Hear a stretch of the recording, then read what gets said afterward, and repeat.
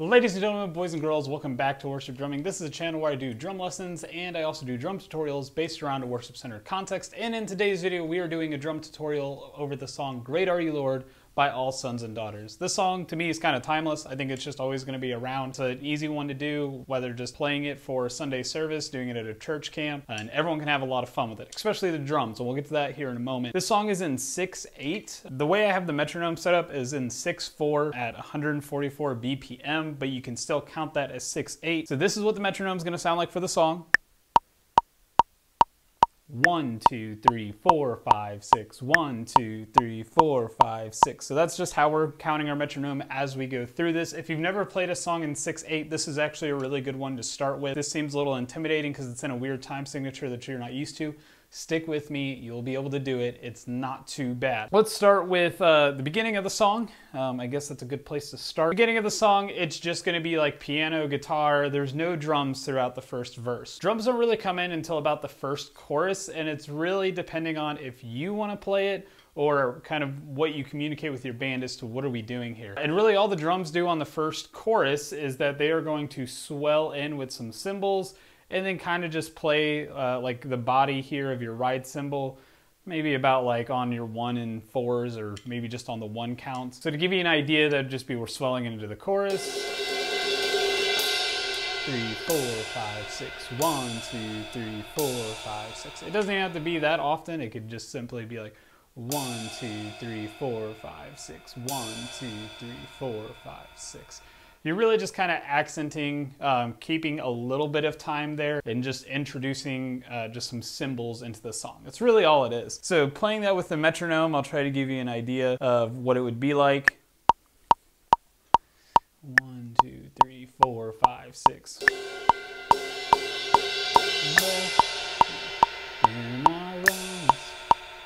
so we pour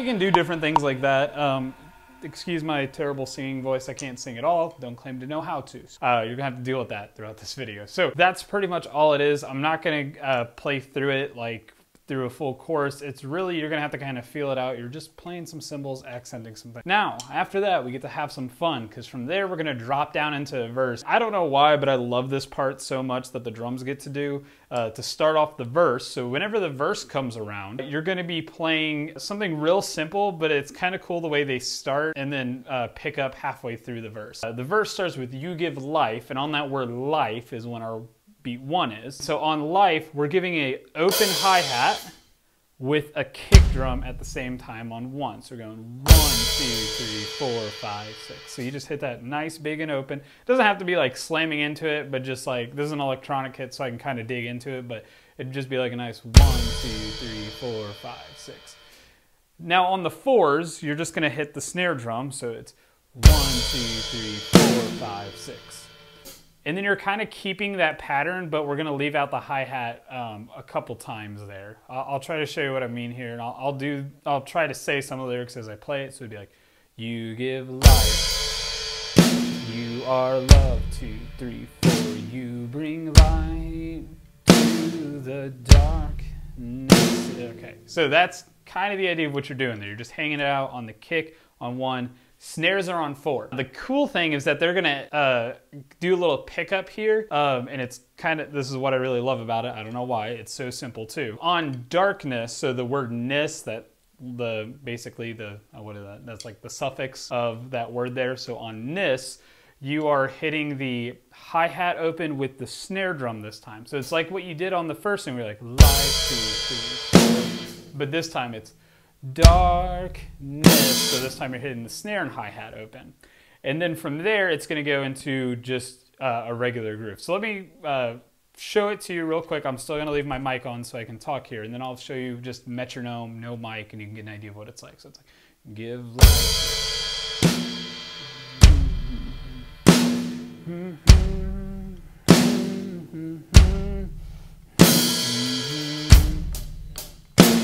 And then just drops right into this simple verse here.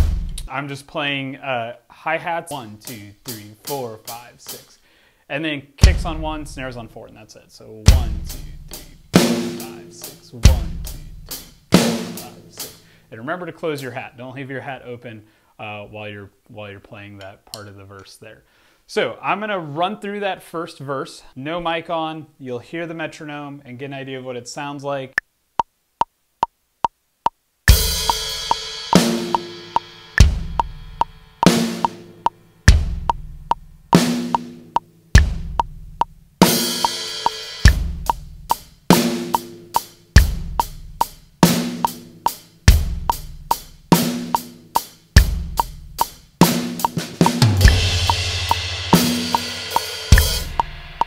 Okay, so there I played a little bit of a fill at the end. Uh, you can kind of choose what you want to do here. There are some places to throw fills in, and that's what I really like about this song is that the drums have an opportunity to throw in some accents and different fills. Uh, it doesn't have to be so straight one, two, three, four. Like you get to go a little bit beyond that. Kind of what I like to do there to throw a little bit of breaks in there is just think about your beats five and six and you have four beats there. It's kind of just like playing in four four so think of like your favorite fill in 4-4 that goes 3 and 4 and, or 4-E and uh. It's basically four notes. It's the same thing here, but you just count it as 5 and 6. So I like to count it as 1, 2, 3, 4, 5 and 6 and.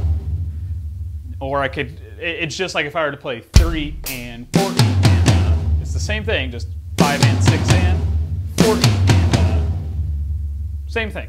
Uh, but just make sure that you are locked into that uh, 6-8 time signature whenever you get back into your normal groove. One, two, three, four, five, and six. One, two, three, four, five, six. So all I'm doing there, just to really break down what I'm doing, you can split it up however you want. My five is on the snare, and a five is on the rack tom, and then six and the and of six is on the floor tom. Five and six and.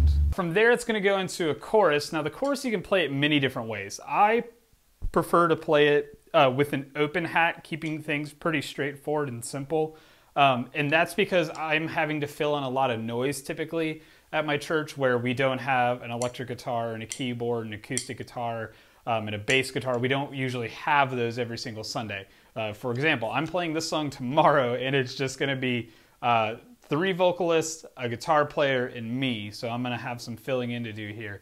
And I'll probably just play it straightforward as an open hi-hat in the chorus. And I'll show you kind of more what the song does with a little bit of backing track stuff to it. Sticking more true to the song, they're gonna have the hi-hat closed. Instead of going one, two, three, four, five, six, they're gonna throw in the eighth notes with the left hand, or I guess technically it's like 16th notes. So I'm playing 1 and 2 and 3 and 4 and 5 and 6 and. And then just kick on 1, snare on 4.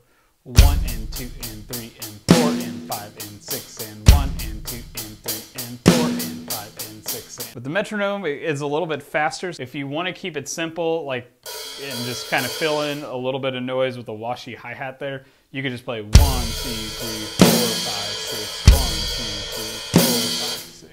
just really kind of whatever you want to do. If you want to stick more true to the song, you're playing those eighth notes. Um, I'm going to go ahead and just show you kind of the more true to the song, but I just want to, I wanted to give you an idea of different things that you could do um, if you wanted to. So actually, let me do it with some lyrics first, then I'll do it with the metronome and cut this mic off. It's your breath in our lungs, so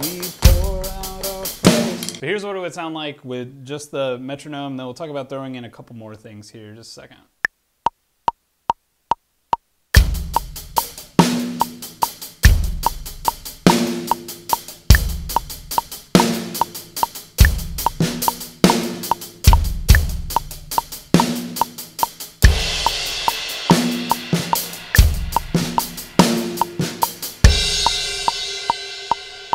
So I threw in a couple different accents there. So basically how you do that is uh, just some like general principles is on the, uh, on the beat six. Yes, that's what I was about to say. Okay, on beat six, you can hit your kick drum and then uh, also hit your kick drum on beat one and it gives this nice boom, boom.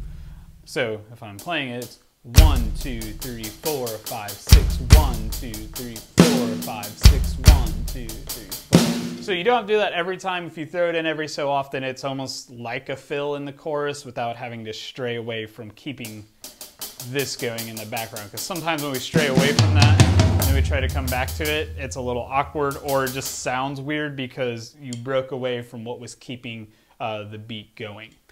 The other thing that you can do is throw in some accents on your snare drum. So I think it's on the end of two. So if I'm counting, I'm on one and two and three and four and five and six and one and two and three and four and five and six. And you can kind of just throw those things in there. You could also throw it in, I believe it's on the and of five. One and two and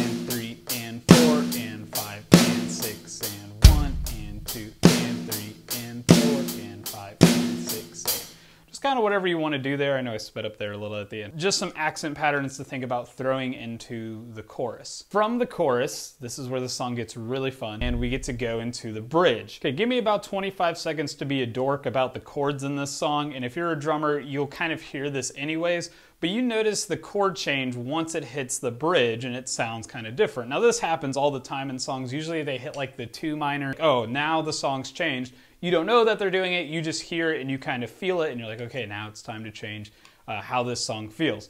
What's really cool about this song is that uh, the one chord is actually played on the chorus. So like the song's in the key of A, I believe.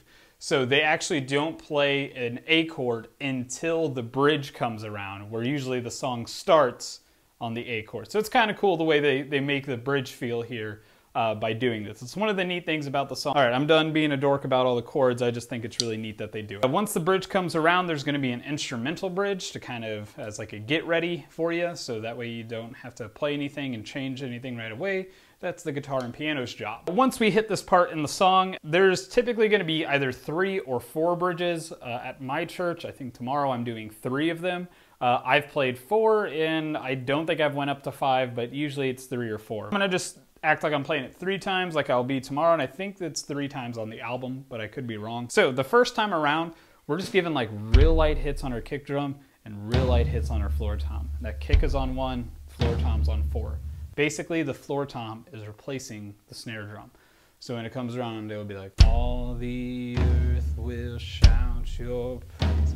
Our hearts will cry. Once again, excuse the bad singing, but you get it. You're just keeping that nice and light, helping the band keep in time as you go through this. One, two, three, four, five, six. One, two, three, four, five, six. I'm not going to play that solo by itself. I think most of you got that because you're a rock star and you got this. Now from there, we're eventually going to get around to uh, moving up in intensity for this.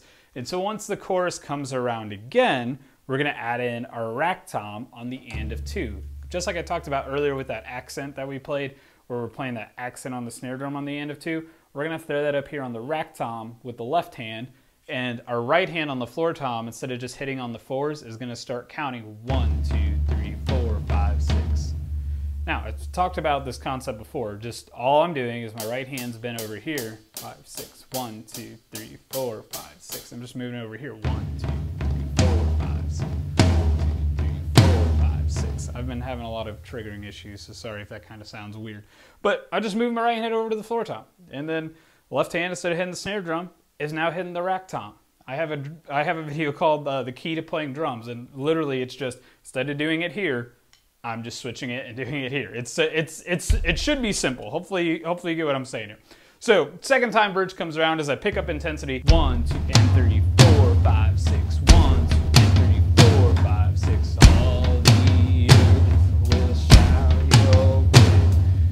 great thing to do like every two bars is that five and six hand I talked about. Those four notes, just play them on your floor tom or just play them walking down your toms as like a little filler. So I'll show you what I mean. One,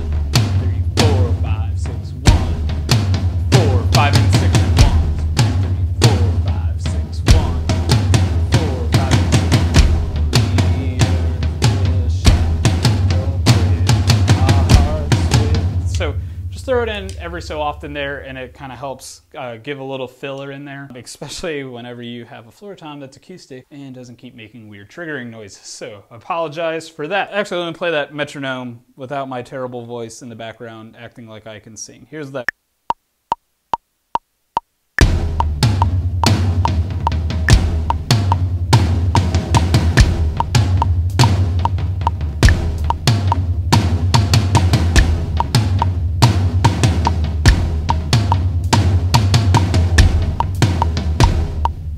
Want, you could also throw cymbals uh, in there kind of on those ones. So like.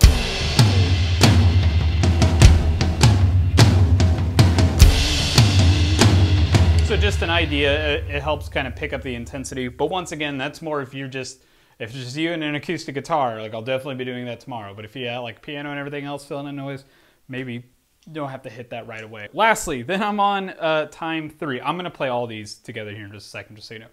Third time around on the bridge, I'm going to do the same thing except my snare drum is gonna start coming in on four. And you can actually do this before you get to the third time around to that Lord part. So whenever it holds out the word Lord, I'm gonna throw in the snare drum to kind of introduce that going into the next part of the song. Then once we hit to that third time bridge, then the snare drum is just kind of embedded into playing that. So the third time bridge is the same thing, except uh, my snare drum's on four, and I'm definitely hitting some cymbals uh, on the one beat there.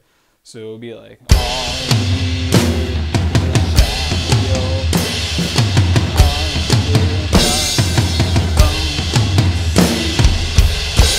So yeah, I'm just kind of throwing in some different things. I'm, I, the core of it is still one, two, and three, four, five, six. One, two, and three, four, five, six. And then I'm hitting some cymbals on one, I'm hitting some cymbals on four. So one, two, three, four, five, six. One, two, three, four, five, six. Still throwing in some little fills every so often. And then the last thing actually that will change, I didn't play it there, but I should have. Uh, the last thing that will change, other than just doing one, two, three, four, five, six, is I'm gonna actually uh, pick up on the kick drum and I'm gonna play that on one, two, three, four, five, six. So basically it's replacing what my right hand was doing, going one, two, three, four, five, six. Now it's one, two, three, four, five, six. And this is gonna really help it ramp up in intensity as you get ready to go into your final chorus. Third time bridge kind of sounds like this.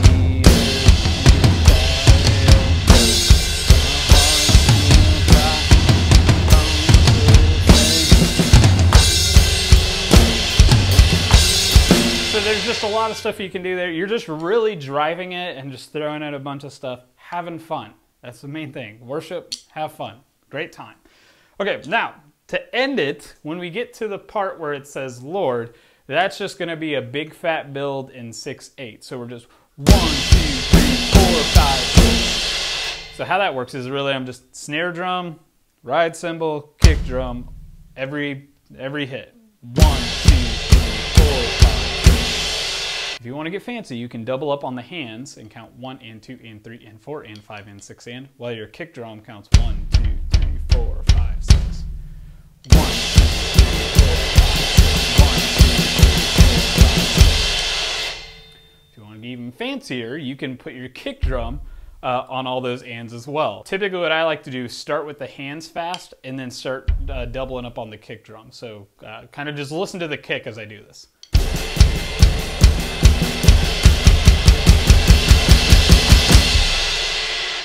That's one way that uh, you can do it there. Uh, there's different ways you can end that build. You can end it with some fills. Here's what I'm gonna do. I'm gonna I'm gonna cut the mic. Don't have to listen to my terrible singing. I'm gonna start the metronome. I'm gonna play uh, the bridge the first time, second time, third time, and the build going into the chorus. And we'll talk about the chorus here in a second. Uh, just I'll put somewhere on the screen what bridge I'm on.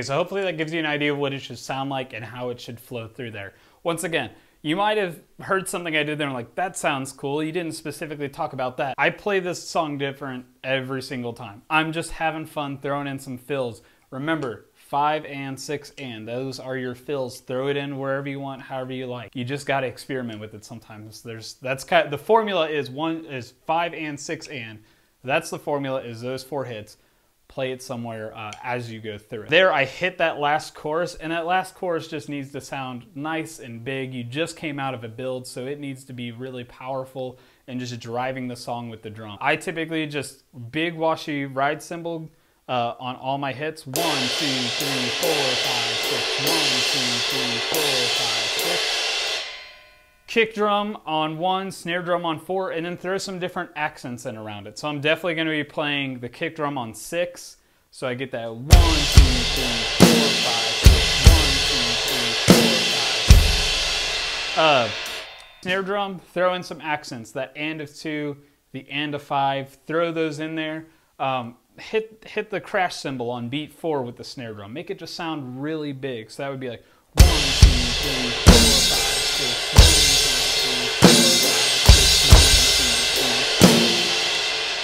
Uh, I like to add a lot of cymbals to give a song power um, in, in some areas where it's like, man, this needs to sound big. So I love throwing in cymbals. Uh, set up at church, I got another crash cymbal over here. Work with what you got. Uh, if you got to throw in more kicks to make it sound powerful, you can. And this is where I said, like at the beginning of this video, this song's awesome for the drums. And that's because at these times, you just have so much freedom. You're not just tied down to one, two, three, four, five, six keep that in there and then throw in some of those accents. So once again, on the and of two, so I'm going one, two, three, four, five, six. One, two, three, four, five, six.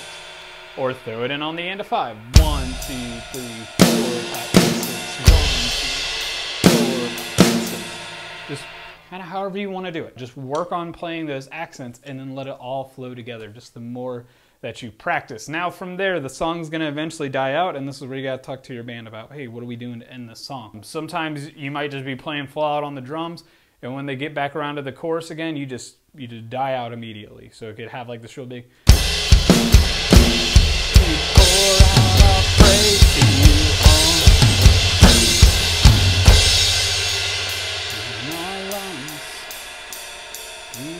So it could be like that, like I'm just playing big and it dies out. Talk about how your band wants to end it. Um, in the recording, they all kind of just gradually die out. There's somewhat of like a sudden stop there. You can keep those hits on the ride cymbal just to keep everyone in time. Uh, you could come back over to the hi-hat and just play really light. One, two, three, four, five, six, one. If you're really fancy, you can throw in some rolls there.